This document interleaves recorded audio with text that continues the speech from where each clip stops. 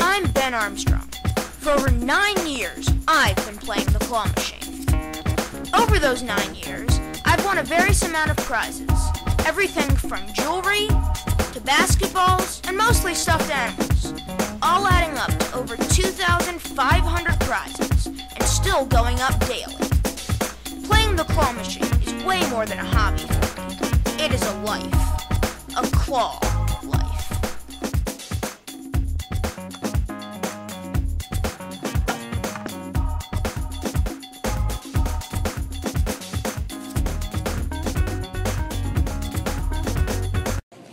Okay, guys, welcome back to Claw Life. I'm here at uh, Kmart.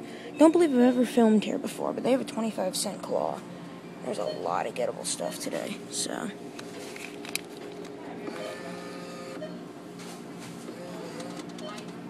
I'm gonna go for this guy.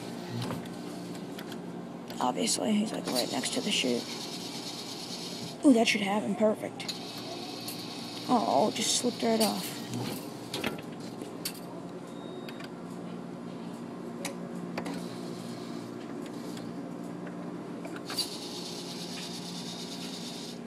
Should have him.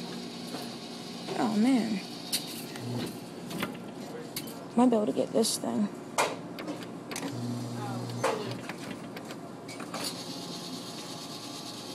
Oh, that's perfect. That has that. Yes, knocked it in. First prize of the day, got that snail thing. Yeah, they still have Halloween stuff in here. It's kind of weird.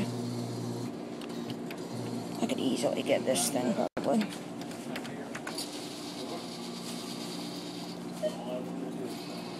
Oh, and they pulled up that.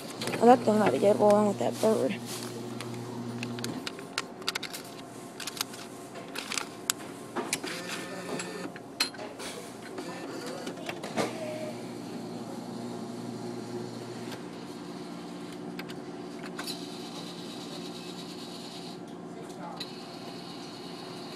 Oh man.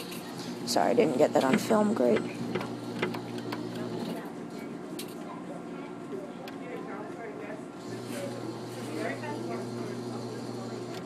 Let's try this elephant thing that I nearly got. Well, that should have that. That's perfect. Oh, man.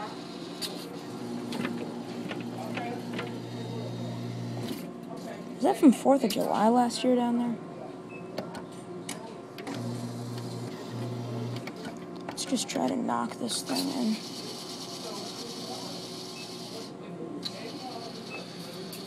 Yes, got it. Sweet. Well, that's all I got with me, guys, is two bucks, but got a two for two. And the floor is all wet.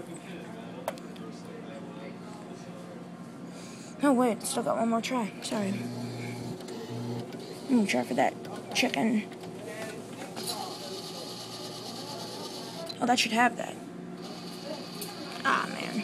Alright, guys, well, got a two for two here. Got this guy from Halloween and this snail. Thanks for watching this episode of Claw Life, guys. Short episode, but thanks for watching, guys, and we will see you next time.